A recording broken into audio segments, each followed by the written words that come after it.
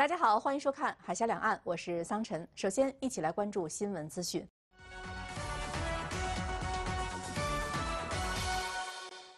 美国驻联合国大使克拉夫特的访台计划取消，引发台湾舆论的广泛关注。民进党当局将行程取消的责任归给了国民党，而国民党方面则表示，这种甩锅行为是民进党的一贯操作。对此，外交部回应称，中方敦促美方停止一切美台官方往来和军事联系，不要在错误和危险的道路上越走越远。美国国务院发言人日前宣布取消本周所有外访行程，包括美国驻联合国代表克拉福特的访台计划。对此，国民党方面回应，取消访台计划并不意外，民进党当局反而应该松了一口气。我想，其实应该是让我们的执政当局松了一口气。我觉得可以理解。我们不意外，而民进党方面则指责称，是因为国民党才导致行程取消。国民党回应表示，这种甩锅行为是民进党一贯的操作。在还没有来之前，然后就受到国民党无尽的批评，所以我觉得国民党要为这一次呃所谓的取消要负相当大的责任哈。反正出了事情就推国民党嘛哈，这是民进党的一项的 SOP 了哈。这个清楚看得到，我们来住是是白痴了哈。针对美国国务院宣布取消美常驻联合国代表克拉福特访台，外交部发言人赵立坚十三号重申，中方坚决反对任何形式的美台官方往来，这一立场是一贯的、明确的。中方敦促美方恪守一个中国原则和中美三个联合公报规定，停止一切美台官方往来和军事联系，不要在错误和危险的道路上越走越远。中方将继续采取一切必要措施。坚定捍卫自身主权、安全利益。据台媒报道称，台湾再次出现新冠肺炎医院内感染的病例，引发民众担忧是否存在防疫破口。而台湾疫情指挥中心目前仍然未公布相关的医院。有蓝营人士批评称，选择性保密只会带给民众更多的不安和惶恐。哈，两例的本土的案例哈，那一位是哈，一位是医师。据台湾联合新闻网报道，日前台湾新增两例本土确诊个案，是来自桃园市某医院的医生和与其同住的护理师。确诊医生曾治疗新冠肺炎确诊个案，之后他出现咳嗽、发烧症状，经过裁剪后确诊。目前框列相关医院接触者共四百六十四人，裁剪结果都为阴性。该医院也已经开始针对全院约两千五百位员工进行普筛。原来 COVID-19 确诊者，哈，在医疗中的确诊者。好，那因为状状况比较严重，所以进去插管。好，我们定义成医院的感染。好，因为就只一位这医师，然后另外一位应该是算是在社区的密切接触者。好，大概在定义上是这样定义。台湾社会关注此事是否可能显示出医院感染控制流程有需要补强的漏洞。对此，台湾流行疫情指挥中心指挥官陈时中强调，个案都有按照标准作业流程，目前没有看到漏洞。目前还没有看到那个洞了哈，那那当然有一些细缝哈，那我们可能会想办法再来检视。有蓝营人士指出，台湾疫情指挥中心针对台湾北部某医院传出感染案例，第一时间回应称是谣言，后来在网友的搜寻下，慢慢将北部某医院的范围缩小至桃园，而且疫情指挥中心只公布确诊医生、护理师的活动足迹，但停留时间最久的工作场所却秘而不宣。他批评称，选择性保密只会给民众带来更多的不安与惶恐。人流多难掌控的地方，那想要问说，为什么不直接公开？那那个考量是什么呢？对，那你为什么一定要公公开它，让更多人更注意这个事情？日前，台湾出现医生院内感染新冠肺炎的情况，这也是台湾第二起院内感染案例。此次事件发生之后，岛内最新的网络民调数据就显示，约七成参与投票的民众担心疫情可能会扩散。有台湾舆论认为，台湾疫情指挥中心就是不普筛，或许是因为不普筛就没有整体的确诊染疫数字，而没有数字就代表所谓的防疫成功。目前，台湾现行的防疫机制究竟是否存在破口，也持续引发议论。有台媒刊载评论。文章指出，此次陈时中不公布确诊医生的染疫医院，或许他可以用所谓的传染病防治法为理由拒绝公布。但是有多少民众不知道自己存在感染的风险呢？台湾疫情指挥中心看似严谨，但却处处不以便民为原则，让民众暴露在疫情的风险之下。以上是央视记者发自台北的报道。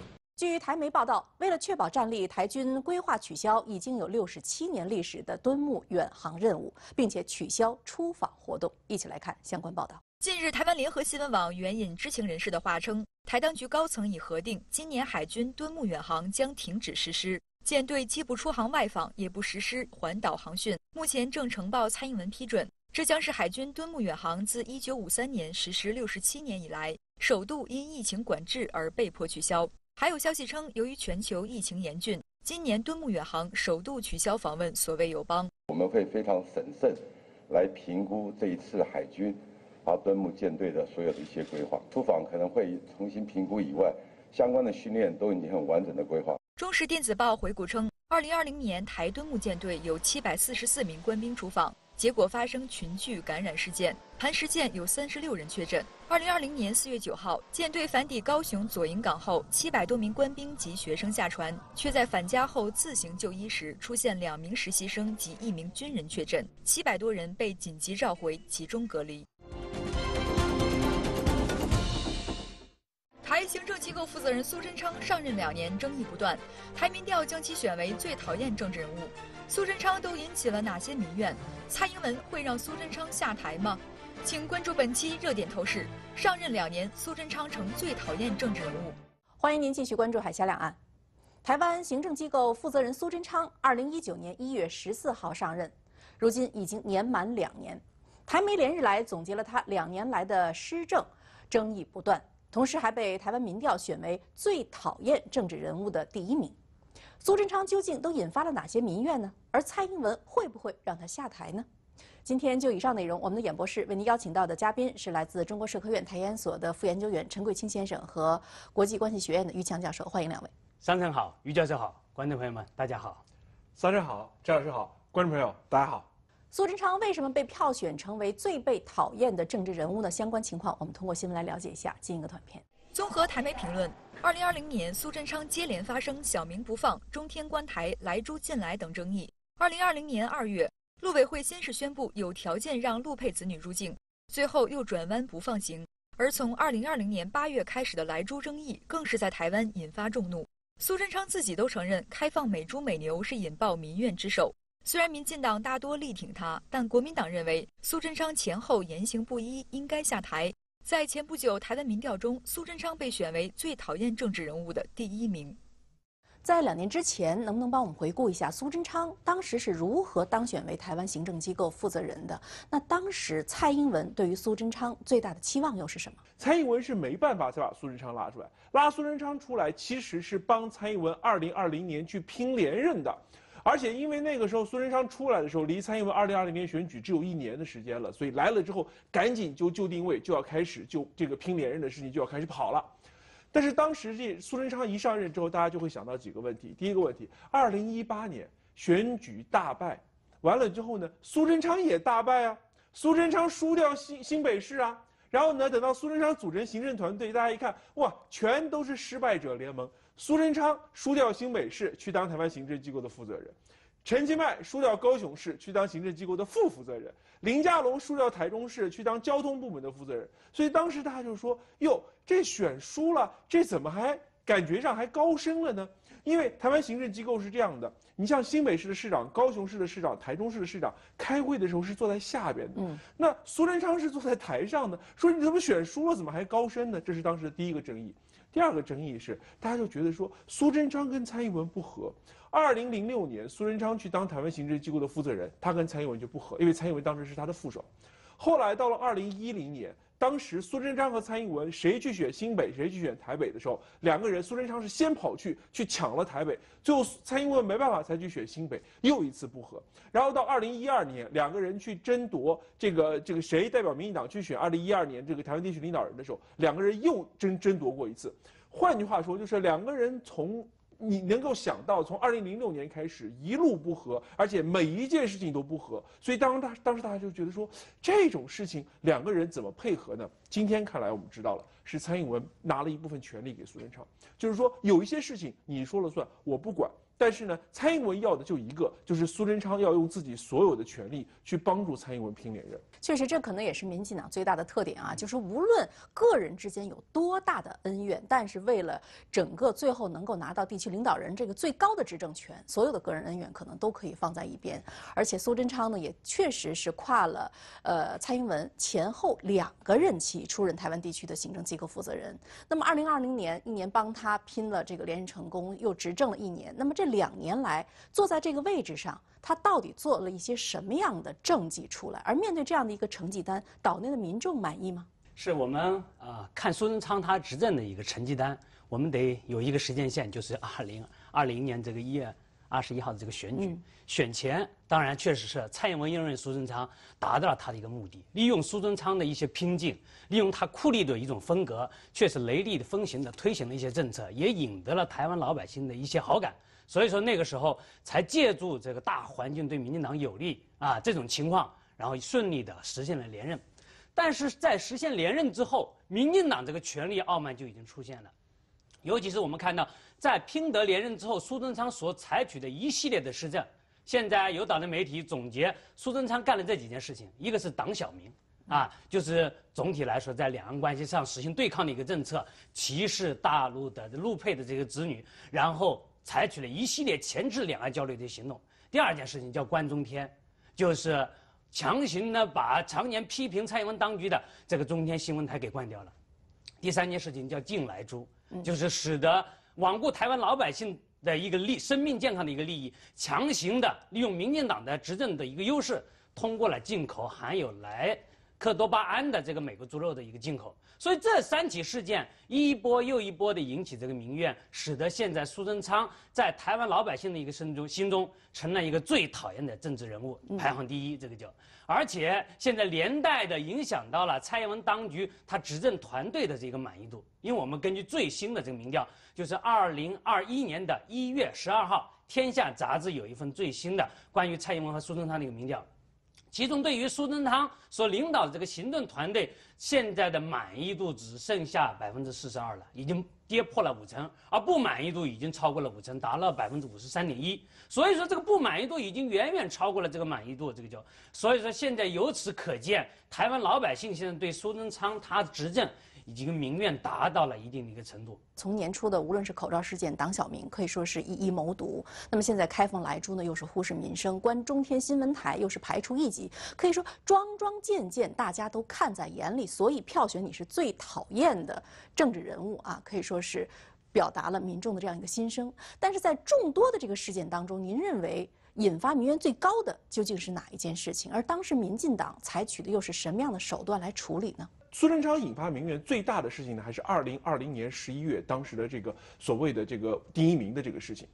第一名是苏贞昌的人，这个在岛内大家谁都知道。嗯好，第一名作为苏贞昌新闻团队的发言人，然后呢去攻击说台北牛肉面节的冠军那个皇家牛肉面，说他们用的是含有来剂的牛肉，结果人家说我没有啊，而且呢数据拿出来说我们去送检验了，检验数据显示我们没有用瘦肉精。好了。然后，问题是你这样一说之后，民众会觉得说：“哎，那你这个发言人怎么胡说八道啊？你是行政机构的发言人，你怎么胡说八道啊？”然后孙贞昌出来说什么？孙贞昌说：“哦，他工作很辛苦，年轻人难免犯错。谁工作不辛苦啊？什么叫做他工作很辛苦啊？他这是有意伤害人家，这个工作辛苦有什么关系？然后呢，后来呢，苏贞昌一看，哇，社会压力越来越大了，然后带着第一名去道歉。”你道歉，你得有个诚意嘛。结果呢，这个明明是伤害了儿子，结果跑到爸爸的店去道歉。大家会觉得说，你小子连道歉都没点诚意，结束了吗？没有，这个事情就大家发现了一堆问题。比如说，哦，说原来苏贞昌养网军，把那些网军一个一个的，大家都发现了。哎，大家发现说，哦，第一名想道歉，说，哎，去买，说说说他自掏腰包，说买点人家的面，结果发现说，哎，结果那个发票上呢，你还写的是台湾行政机构的抬头，那不就是想报公账吗？好，好，这件事情还没完，后来，到苏贞昌再过了一个月，等到第一名后来就走人了，苏贞昌止血了吗？并没有，到了一个月之后，哎，苏贞昌去宣导大家用三倍券去买漫画。结果呢？大家发现说，那个发票上又打台湾行政机构的抬头。嗯，好了，大家一切都明白了。怪不得你去袒护第一名，不仅是因为他是你的网军头目，还是因为你和他的价值观是一样的。第一名为什么那么干？是因为跟你苏贞昌学的。而且呢，还有一个问题，他是拿三倍券去买漫画。当时三倍券七月份上路的时候，你是怎么讲的？苏贞昌说：“哦，大家要赶紧用啊，赶紧用才是爱台湾。”行了。七月份就上路了，你苏贞昌也有三倍券，你为什么到十二月份才用？你为你要让大家先用，你为什么不先用？所以就一堆问题就到处在往外冒，大家就发现说，原来苏贞昌啊，嘴巴上讲一套，做的是另外一套，做的事情都是骗人的。苏贞昌还能在位多久？就算换掉苏贞昌，民进党当局的跛脚施政就能转弯吗？请继续关注海峡两岸。包庇下属体现了苏贞昌执政的这个双重标准啊，但是真正的原因就是下梁不正上梁歪呀。因为并不是丁一鸣他个人的问题，是整个民进党啊这个根儿他已经烂掉了。所以现在我们看到民众已经看得越来越清楚了，所以对于苏贞昌的这个满意度呢也是持续的下滑，是不再信任了。所以接引阶段呢就有很多的消息猜测说，那这是不是意味着他这个行政机构负责人的位子也坐不住了，要下台了？因为毕竟。帮这个蔡英文挡子弹，可能挡的也差不多了。您怎么看？关于这个撤换苏贞昌这个话题，我们从三个层面来了解。第一个，我认为撤换苏贞昌是早晚的事情。嗯，确实是。现在苏贞昌的一个执政满意度已经下到到五成以下。嗯，所以说他已经成为蔡英文的一个执政的一个包袱，让苏贞昌继续干下去可能会有一些好处，但是从长远来看，他对蔡英文、对民进党都不是一件好事。所以说。换苏贞昌只是早晚的一件事情啊。那么我们从第二个角度来看，为什么当前蔡英文没有下决心立马把苏贞昌换掉？我认为是有以下三方面的原因。第一个方面，可能书还对蔡英文有剩余的利用价值，他可能还想把书的价值榨干榨尽。因为什么呢？因为很明显知道，把书放在这里，一个方面可以压住党内的其他派系。尤其是避免他第二任期的这个执政跛脚的一个状况提早的一个到来，因为利用苏贞昌这一个没有太多政治前途的人物，很好的可以压制民进党内有意接班的那些中生代的一个政治领袖。那么除除了这个之外，当然用苏贞昌还有一个好处，苏贞昌他所背后的这个苏系的一个势力相对来说比较弱小，所以蔡英文用他。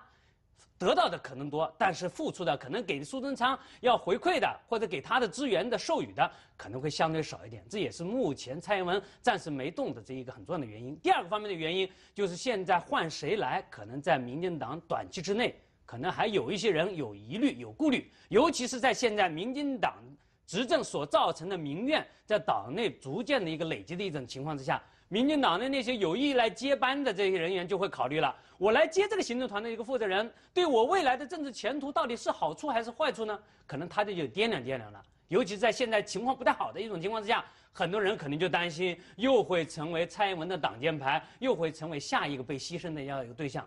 当然，第三个原因，对于那些有意来接班的人来说，蔡英文估计现在还没有摆平，这也是一个很重要的因素。因为我们看到，在之前关于这个。更换这个行政团队负责人有很多传言，也传出了很多人选。但是蔡英文之所以没有动，很有可能现在媒体认为他可能背后不搞不定。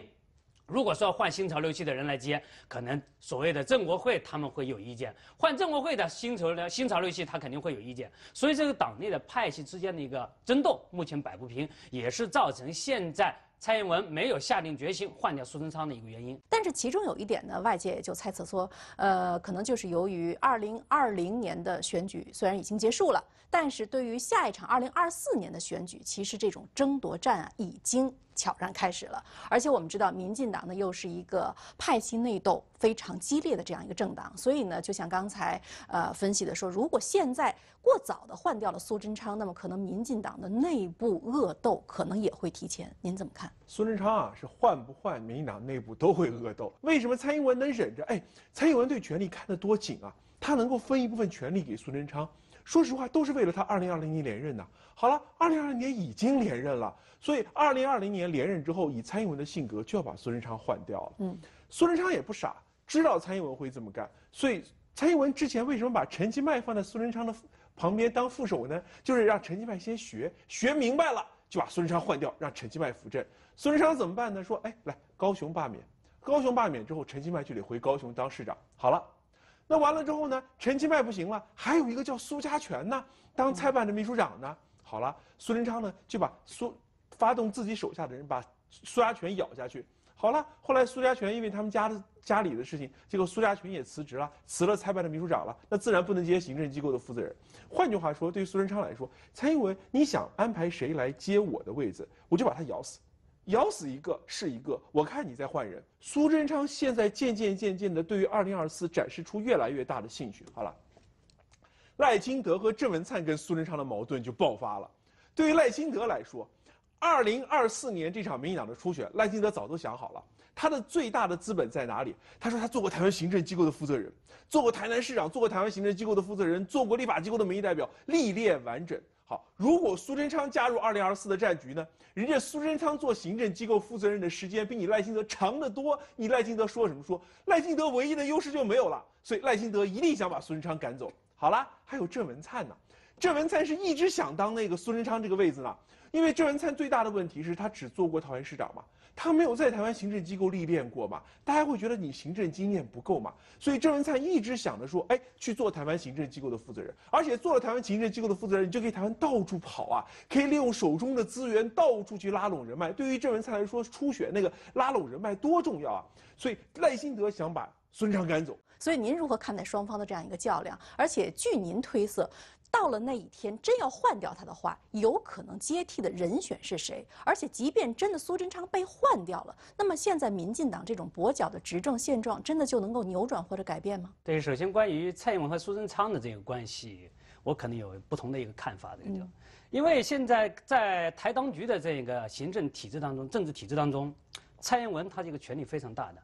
他换不换苏贞昌，完全在他的一念之间。是，他是有能力随时把他换掉的，因为权力在他那儿。这个叫，之所以目前没有换，就是因为我刚才说的这个叫苏贞昌对他还有利用价值啊，啊，利用苏贞昌来挡这个子弹，还有一些操作的一些空间。嗯，所以说目前可能就觉得啊，暂时如果说换掉苏贞昌，反而不如让他继续在那赖一会儿，因为毕竟目前民调跌到了五成以下，还没到山崩海啸的一个地步。可能还会想着让苏贞昌继续撑一段时间，我想这是民进党应该高层团队的一些内部的一些考虑。这个就，那么至于未来谁来接这个苏贞昌的这个行政团队位置，我觉得民进党高层应该早就想过这个问题，而且党内的各大派系早就在盘算这个问题。从目前民进党内各派系放出的一些话来说，目前可能接任苏贞昌的有三个热门人选，一个热门人选。当然是蔡英文最主意的郑文灿，现在的桃园市市长，因为郑文灿他有这个接的这个愿望，也有这个接的背后的一个强大的派系实力的支撑。因为郑文灿他曾经担任过民进党内最强实力的一个派系新潮流系的一个负责人，所以说他背后的新潮流系目前在党内在岛内。各大政治场合都占据了非常重要的一些位置，所以说这股势力一定会把郑文灿往前推，来弥补他没有行政团队、机构负责人的这一种历练。那个就，那么第二个人选，我觉得可能就是所谓的郑国会的龙头林佳龙，也就是现在台当局交通部门的一个负责人。他这一个派系可以说在民进党内是仅次于新潮流系和现在所谓英系的第三大的一个派系。蔡英文据说有有意。拉零压星的这样一个布局，就是想要，因为蔡英文的从他的一个角度来说，他是要考虑这个党的一个派系平衡，防止他的一个权力的一个地位的一个跛脚，所以说他就有意于拉抬这个新啊这郑国会，啊，然后去压制党内实力最强大的这样一个新潮流系这个，所以说这种情况之下，林佳龙也是有可能的，因为媒体也传出来过。第三个热门人选就是以前蔡英文上一任的副手陈建仁。呃，之所以传出这种人选呢，就是因为可能考虑到这个叫陈建仁，一个他没有太多的派系色彩，各个派系都能够接受；另外一个陈建仁他是一个学者专家出身，可能的这些知识，再加上他的一个行政一些历练，也是足够的去推行蔡英文的这一些他的施政的一些政策。啊，当然除了这三个热门人选之外。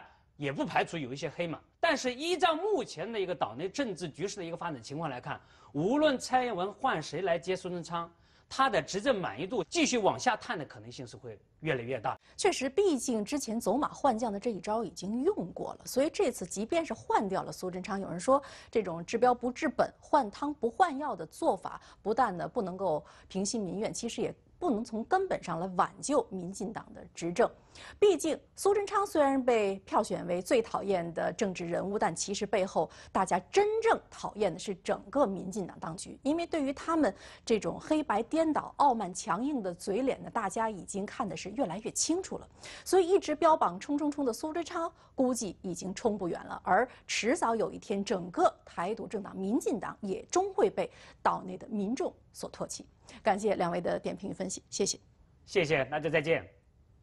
谢谢大家，再见。也感谢各位收看这一期的《海峡两岸》，再会。